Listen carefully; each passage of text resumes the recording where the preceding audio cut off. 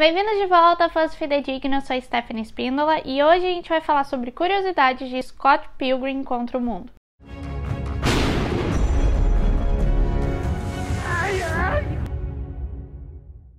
Antes da gente começar, você já sabe, deixa o like nesse vídeo, se inscreve no canal se ainda não é inscrito. Esse like ajuda muito esse vídeo chegar a mais pessoas, então por favor já deixa ele aqui. Como muita gente já sabe, Scott Pilgrim Contra o Mundo é um filme que eu gosto muito. Ele foi lançado em novembro de 2010, então esse ano ele vai completar 10 anos.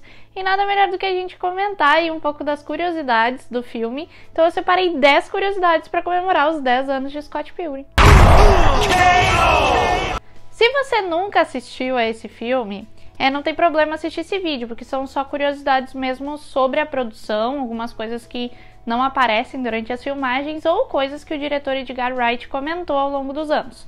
Então pode assistir tranquilo que não tem spoiler da produção. Então a curiosidade número 1 um é que o Edgar Wright demorou seis anos para aceitar fazer a produção desse filme e dirigir a história do Scott Pilgrim para as telonas.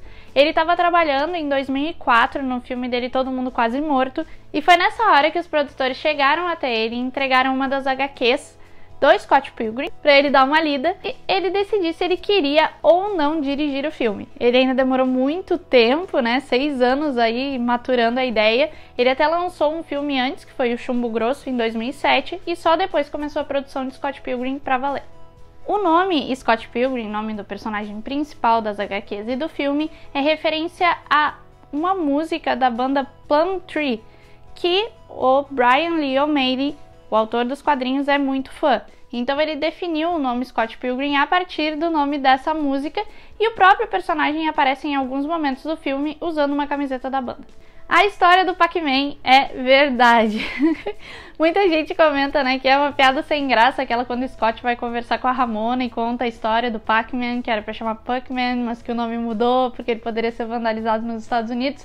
Enfim, essa história é verdadeira e ela é usada ali pro Scott se aproximar da Ramona. E antes ele já tinha contado essa mesma história pra Knives enquanto eles jogavam lá no arcadezinho. Did you know that the original name for Pac-Man was Pac-Man? Hey, you know Pac-Man?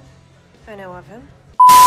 A trilha sonora de Scott Pilgrim é um diferencial, a música pauta vários momentos da história e também ajuda na transição de uma cena ou de outra. E para criar essa trilha sonora, o Edgar Wright teve um parceiro de peso que foi o Beck, que é um cantor aí super prestigiado e alguns anos depois viria a ganhar o prêmio de melhor álbum do ano no Grammy Awards. Além da trilha sonora composta pelo Beck com várias músicas super legais, eles também usaram a música Black Sheep da banda Matrix como música tema da banda fictícia The Clash of Demon Head, aí encabeçada pela Amy Adams, que é interpretada pela Brie Larson.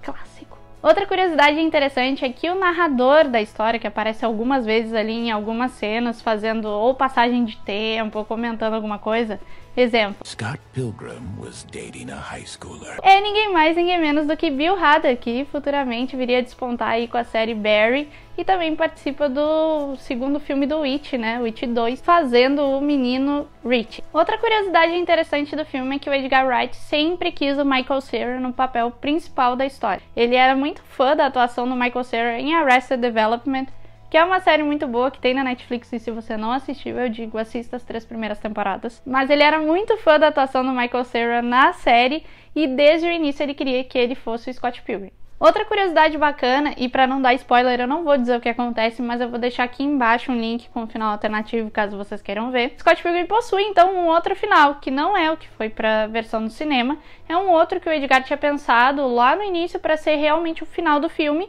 no fim mudou, né? Foi uma mudança de planos aí.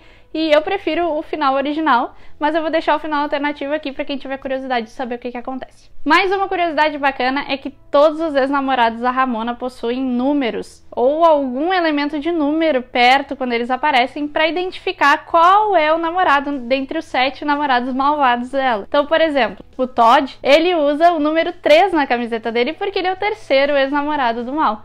Então, assim, tem vários elementos de números ao longo da montagem do filme, da ideia ali, mais é, do design, da identidade do filme, que é muito bacana de ficar cuidando aí durante as cenas. Complementando essa ideia dos números, o número do Scott é o número zero, por isso que ele usa aquela camiseta escrito zero, e a bebida favorita dele é a Coca-Cola Zero. E para fechar as nossas 10 curiosidades, a última curiosidade é que o filme do Scott Pilgrim possui várias referências a jogos clássicos. Duas delas que a gente pode mencionar aqui é a questão das portas que aparecem ao longo da trama, que possuem uma estrelinha que é uma referência ao jogo clássico Mario, e também o próprio Edgar Wright escreveu uma carta para Nintendo pedindo para usar uma das músicas do The Legend of Zelda, que é a, a música das fadinhas que elas ficam cantando assim